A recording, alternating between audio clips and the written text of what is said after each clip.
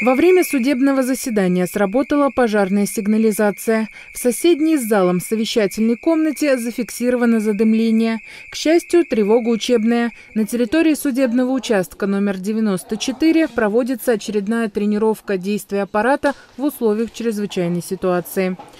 Комплексом мероприятий по эвакуации людей руководит мировой судья.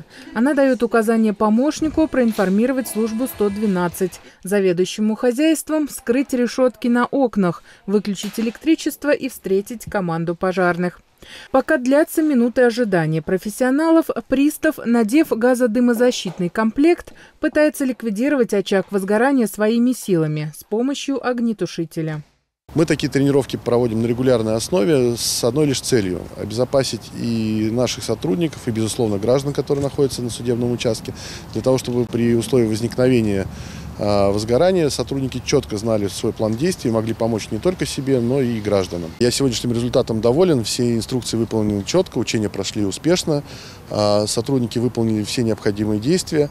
На территории Московской области работают 362 мировых судьи. Все участки оборудованы пожарной сигнализацией. Согласно плану проведения учений, на каждом аппарат исправно тренирует действия на случай возникновения пожара.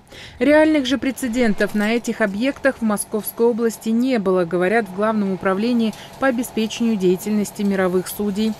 Но все сотрудники должны быть готовы уверенно и слаженно выполнить все требования инструкции по спасению людей в случае такой необходимости.